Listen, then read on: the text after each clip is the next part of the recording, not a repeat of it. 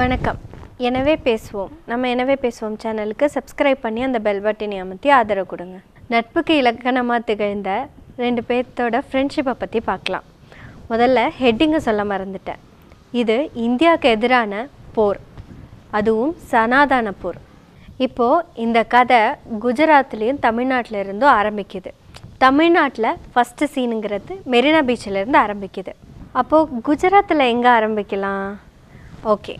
ட்ரெயினே இல்லாத ட்ராக்கே போடாத டீ கடையே இல்லாத ஒரு ஸ்டேஷன்லேருந்து ஆரம்பிக்கலாம். அதில் ரெண்டு ஃப்ரெண்ட்ஸ் இருக்காங்க. கருணாவும் கணேஷும் ரெண்டு பேரும் பேசிட்டு போயிட்டுருக்காங்க. அப்போ கணேஷ் சொல்கிறாரு இந்த மெரினா பீச்சில் எனக்கு ஒரு செலவு வைக்கிற அளவுக்கு நான் முன்னேறிடுவேண்டா அப்படின்னு சொல்கிறாங்க ஆனால் அப்போ கருணா ஒரே வார்த்தையில் முடிச்சிருவார். உனக்கான சிலையை வைக்கிறதே நானாக தாண்டா இருப்பேன் அப்படின்னு.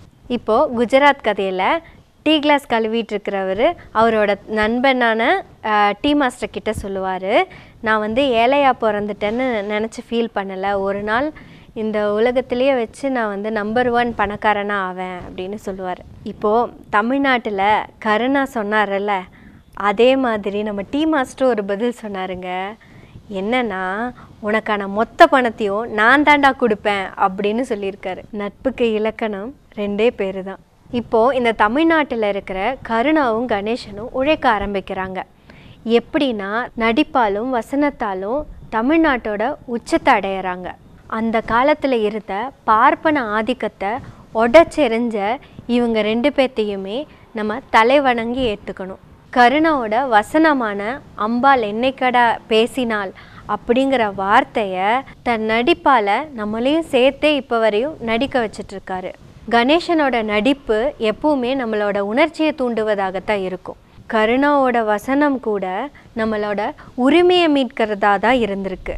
இதே பார்ப்பன ஆதிக்கத்தை எதிர்த்தது தான் அந்த குஜராத்திகள் ரெண்டு பேரும். அவங்களையும் நம்ம பாராட்டணும். ஆனால் அவங்க ரெண்டு பேரும் தான் உழைச்சா முன்னேறலாம் அப்படிங்கிற உழைப்புங்கிற வார்த்தையை அவங்க நம்பாமல் போயிட்டாங்க. பல குறுக்கு வழிகள் மூலம் அந்த குஜராத்தியில் ஒருத்தர் குஜராத்தோட தலைமை பதவிக்கே வராரு. இந்த ஜெயிச்சு இவர் நிற்கும்போது தான் இன்னொரு குஜராத்தி இந்த ஜெயிச்ச இவரை பார்க்க வராரு. வந்து கேட்குறாரு நண்பா நீ ஜெயிச்சிட்ட. நீ கொடுத்த வாக்கை எப்படா காப்பாற்ற போகிறேன்னு கேட்குறாரு நானா? என்ன கொடுத்தேன் அப்படின்னு கேட்கும்போது ஜெயிச்சவர் சொல்கிறாரு நீ தான் எல்லா பணத்தையும் நானே தருவேன்னு சொன்னியே அதை பற்றி தான் அப்படிங்கிறாரு. அப்படியா? எடுத்துக்கோ. எல்லாமே உனக்கு தான் அப்படின்னு கொடுக்குறாரு. அப்போ தான் இந்த ஃப்ரெண்டு கேட்குறாரு எல்லா பணத்தையும் இப்போ எனக்கு கொடுத்துட்டேன்னா அது எல்லாமே மக்களோட பணமாச்சே உன்னை கேள்வி கேட்க மாட்டாங்களா? உங்ககிட்ட சண்டை போட வரமாட்டாங்களா அப்படின்னு கேட்குறாரு அப்போ இந்த ஜெயிச்சவர் சொல்கிறாரு அதெல்லாம் ஒரு பிரச்சனையும் கிடையாது. உனக்கு வேண்டியதை நீ எடுத்துகிட்டு போ. நான் வந்து என்னை நம்புறதுக்கு பல பேர் இருக்காங்க. அது இல்லாமல் நான் பண்ணுறது கரெக்டு என் வளர்ச்சின்னு பேசுகிறதுக்கு ஒரு பத்து பேர்த்த வச்சுருக்கேன். அது இல்லாமல் வாட்ஸ்அப்பில் போடுறதுக்கு பத்து பேர்த்த வச்சுருக்கேன். அதெல்லாம் நம்புறதுக்கு நம்ம மக்களும் இருக்காங்க. நீ தைரியமாக எடுத்துகிட்டு போ அப்படின்னு சொல்லிட்டாரு. ஒருவேளை இதெல்லாம் மீறி எவனாவது கிடுக்குப்பிடி கேள்வி கேட்டான்னா இருக்கவே இருக்குது தேசபக்தி.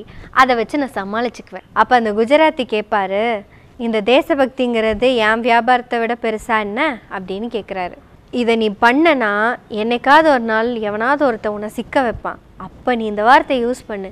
இது இந்தியாவின் மேல் தொடுக்கப்பட்ட போர்னு யூஸ் பண்ண. அதெல்லாம் மக்கள் நங்கி நம்பிக்குவாங்க அப்படின்னு சொல்கிறாங்க மொத்தத்தில் இந்த குஜராத்தி ஃப்ரெண்ட்ஸுக்கு என்ன பிரச்சனைன்னு தானே கேட்க வரீங்க. ஒருத்தருக்கு டாக்குமெண்ட்ரினால பிரச்சனை இன்னொருத்தருக்கு டாக்குமெண்ட்டே பிரச்சனையாக இருக்குது அந்த ஃப்ரெண்டு சொன்னார்ல அந்த மாதிரி உண்மையாகவே இது இந்தியா மேலே தொடுக்கப்பட்ட போரா? ஆமாம் கண்டிப்பாக இது இந்தியா மேலே தொடுக்கப்பட்ட போர் தான். பின்னென்ன? அவர் அவரோட பரம்பரை சொத்தை விற்றா பிஸ்னஸ் ஆரம்பித்தார் கையை நீட்டிட்டு வந்தாங்க. கிடைக்கிறதெல்லாம் அள்ளிட்டு போனாங்க. என்ன? அள்ளிட்டு போனது எல்லாமே மக்களோட சொத்தாக போயிருச்சு. என்ன பண்ணுறது இதில் மக்களுக்கு என்ன தெரியுமாங்க பிரச்சனை? மக்கள் பொறுப்பில்லாமல் ஒரு பொறுப்பை தூக்கி பொறுப்பில்லாத ஒருத்தருக்கு கொடுத்தனால அவர் பொறுப்பில்லாமல் மக்களோட பணத்தை எல்லாம் எடுத்து இன்னொருத்தருக்கு கொடுத்துட்டாரு. இவ்வளோதான். ஆனால் அந்த குஜராத்தி விவசாயமே பண்ணலைங்க. ஆனால் அறுவடை பண்ணார். அவர் அறுவடை செஞ்சதெல்லாம் என்னன்னு தெரியுங்களா? மக்களோட சொத்தான எல்ஐசி ஏர்போர்ட்டு ஹார்பரு அந்த மாதிரி இருக்கிறது எல்லாமே அவர் அறுவடை பண்ணிட்டாரு. ரெண்டு ஃப்ரெண்ட்ஸு ஒவ்வொருத்தங்க கிட்டேயும் வாக்கு கொடுத்ததுனால தான் இந்தியாவுக்கே ஒரு பெருமையும் ஒரு சிறுமையும். கணேசனுக்கு கருணா கொடுத்த வாக்கு பெருமை. ஆனால் ஒரு குஜராத்தி இன்னொரு குஜராத்திக்கு கொடுத்தது நமக்கு சிறுமை தான். இரண்டு குஜராத்தி நண்பர்களால் நாம் இழந்தது மிக அதிகம். நம்மளோட கோவணத்தை இழக்கிறதுக்குள்ள நம்ம அவங்கள பிரித்து வச்சிடணும். இல்லைன்னா தேசபக்திங்கிறதுல கொடி மட்டும்தான் நமக்கு மிஞ்சும். தேசம் மொத்தமும் அவங்க கையில் போயிடும். வெல்லப்போவது யார்? பிபிசியா ஹிடன்பர்கா விடை விரைவில். மக்களே நீங்கள் தோக்கிறதுக்குள்ள சீக்கிரம் முடிச்சிடலாம் விடை கிடைக்கும் வரை இந்தியன் என்பதிலே பெருமை கொள்வோம். இணைந்து பல சாதனைகள் செய்வோம். ஒரு நிமிஷம் ஒரு நிமிஷம் ஒரு நிமிஷம். நான் சனாதனம் அப்படிங்கிற ஒரு வார்த்தை யூஸ் பண்ணேன்ல. அது ஏன் சொன்னேன்னா இப்போ கூட நம்ம திமுகவில் ஊராட்சி மன்ற தலைவர் ஒருத்தர் ஒரு தாழ்த்தப்பட்ட ஒருத்தர் வந்து கோவிலுக்குள்ளே போயிட்டாரு அப்படிங்கிறதுக்காக பிபிப்பா பேசி திட்டினாரே. அவங்கள கூட அரெஸ்ட் பண்ணி வச்சாங்களே. அதுதான்.